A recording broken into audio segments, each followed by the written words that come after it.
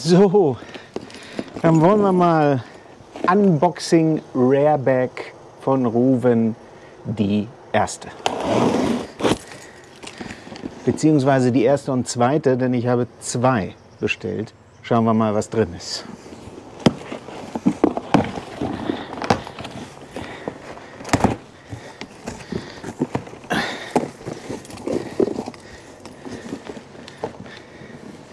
So, so sieht die Kiste erst einmal aus. So, das hier kann weg. Das hier kann weg. Kann weg. Kann weg. Kann weg. Kann weg. So. Die Gefahrengutflasche. Beschichtet aus, ja, aus was auch immer, aber wird schon okay sein. Dann machen wir mal erstmal das kleine Päckchen auf.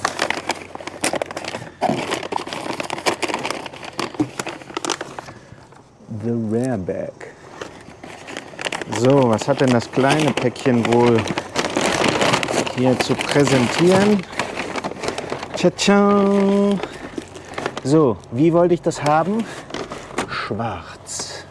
Nur schwarz. Auch mit dieser Schnalle hier.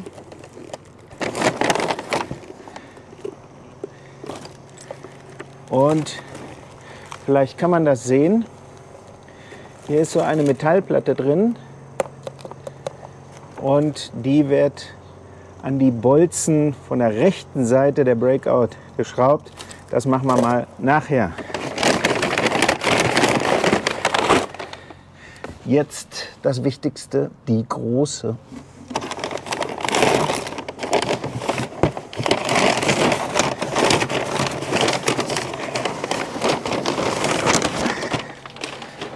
Und da ist sie hier eine wunderschöne 69 eingestickt, gestickt. Ebenso mit einer cool, weiß nicht, ob man das sehen kann, eingravierten Platte. Und dann sind da die Haltegurte dabei. Mit denen macht man die Tasche am Motorrad fest. Das werden wir dann nachher gleich mal testen. So, diese beiden herrlichen Taschen mit der Gefahrengutflasche und dem eingearbeiteten Logo von Ruven an dieses Motorrad. Da freut sich sogar Opi, unser Hund. Ja, gut. Dann schauen wir mal. Jetzt kommt der schreckliche Teil von dem Video. Ich bin handwerklich der unbegabteste Mensch der Welt und muss es jetzt schaffen, diese Tasche dort anzubringen. Fängt schon mal an. Ja, die brauche ich gar nicht erst zumachen, denn die Gurte, die müssen hier durch und da unten auch.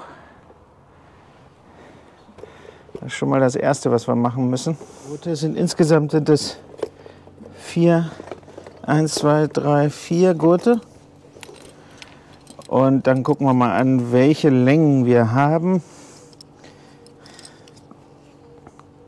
Alle gleich lang. Das ist für jemand wie mich natürlich ganz hervorragend. Dann kann er schon mal keinen Fehler machen.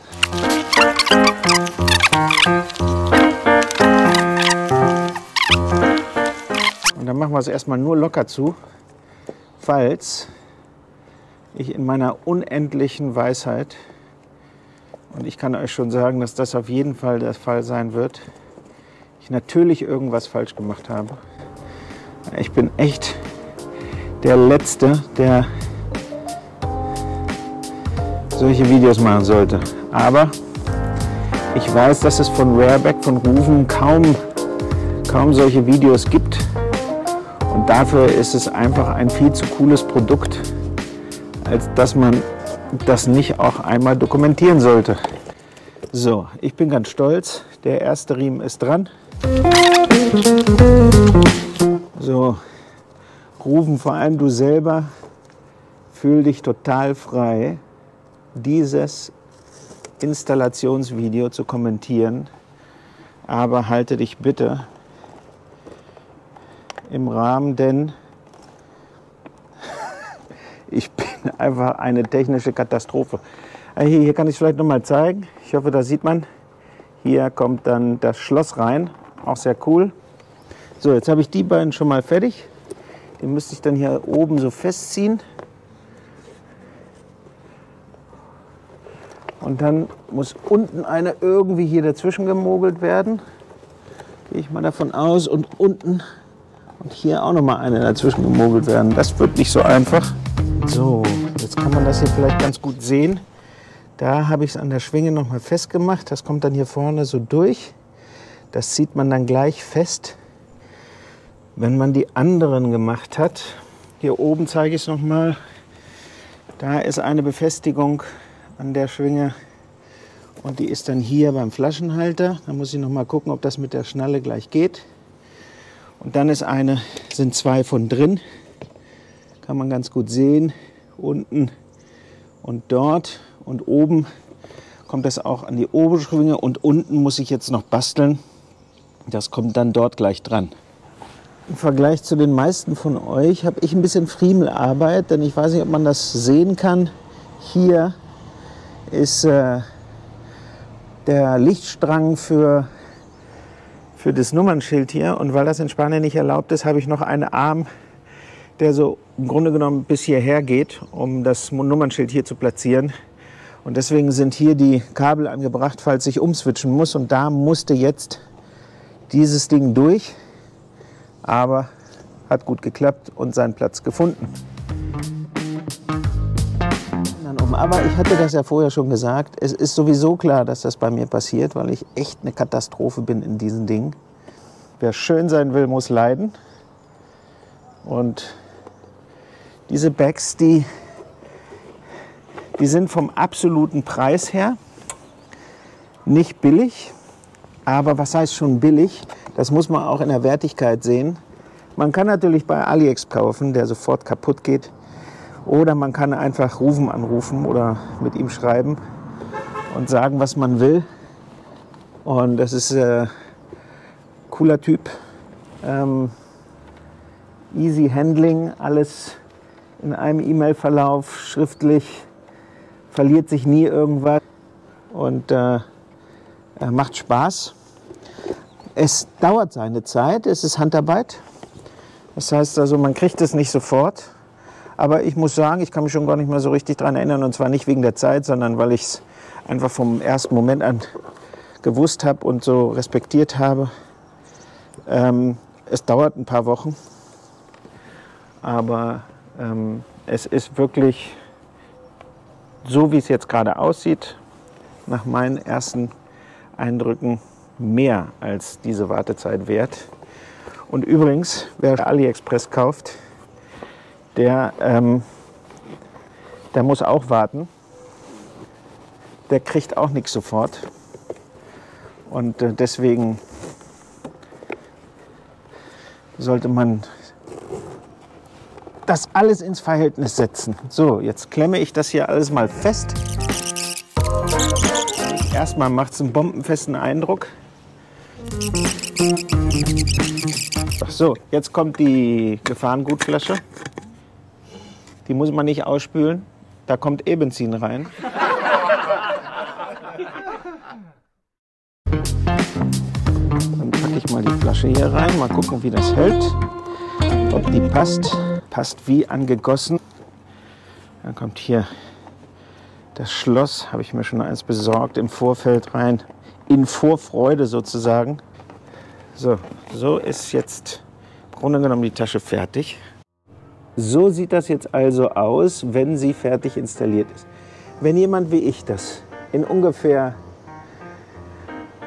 10 Minuten hinbekommen hat, dann kriegt das jeder hin, wahrscheinlich in zwei Minuten. Nur, ob sie besser aussieht, das weiß ich nicht, denn ich habe hier meine ganz schwarz gemacht. Und hier eine Metallplatte. Warum?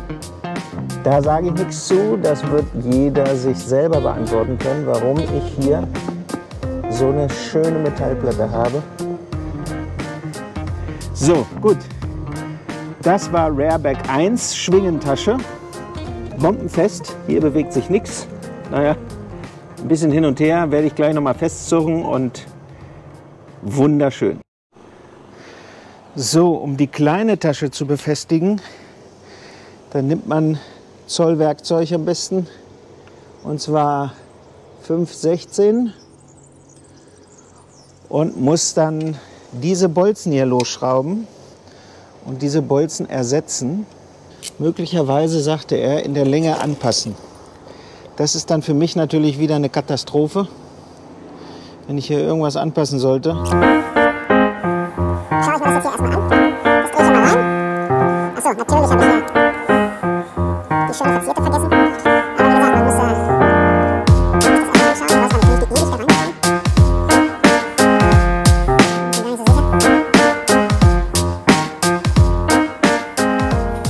Das muss auf jeden Fall gekürzt werden. Denn das hier guckt zu weit raus. Dieses hier, weiß nicht, ob man das gut sehen kann, ist viel zu viel Abstand.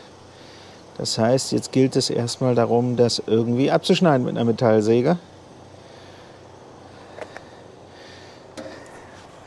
Da wünsche ich mir selbst schon mal richtig viel Spaß dabei, denn ich bin echt eine Katastrophe handwerklich.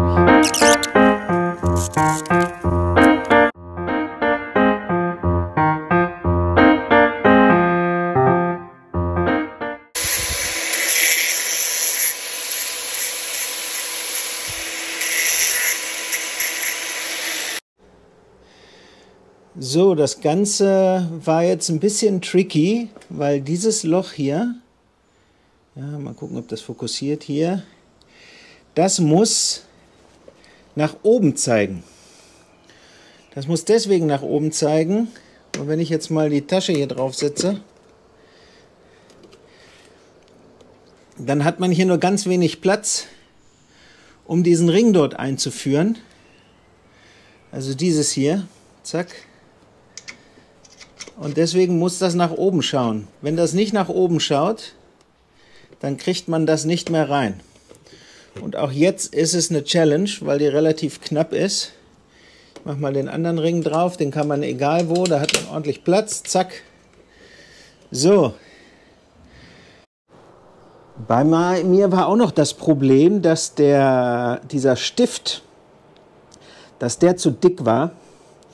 Und ich habe mich auf meinen alten Freund, den Leatherman, ähm, besonnen und habe hier die schöne Pfeile dort reingesetzt und einfach so ein bisschen das, das Stängelchen dort einfach äh, ein bisschen flacher gefeilt und schon hat es gepasst. Aber gut, al final, man auf Spanisch sagt, am Ende hat alles geklappt. Lass mal die Tasche zu. So ist der normale Abstand hier. Also wenn man sich aufs Moped draufsetzt, dann äh, stört das nicht, denn die Beine sind halt eben vorne. Man kann eigentlich hervorragend hier sitzen, kommt nirgendwo an, auch nicht am Auspuff. Das wird passen. Auf der anderen Seite, wenn man drauf sitzt, das passt alles ganz gut. Hier meine Rareback, meine kleine Rareback. Die große Rareback. Das hat geklappt. So, jetzt bleibst du hier schön dran ja, und du schläfst dich hier nochmal, weil morgen geht es nämlich irgendwie ordentlich zur Sache. Und da werde ich mal schauen, ob ich nicht vielleicht äh, die 365 Kurven filme. Denn äh, jetzt kann ich ja ordentlich Sachen für die GoPro mitnehmen und äh, hin und wieder umstecken und so weiter. Also schön dranbleiben, subscribe und wir hören uns bald wieder. Nochmal Dank an Rareback von Roofen. Nein, ist nicht gesponsert, habe ich bezahlt. Aber man muss einfach das Handwerk unterstützen. Keep cool.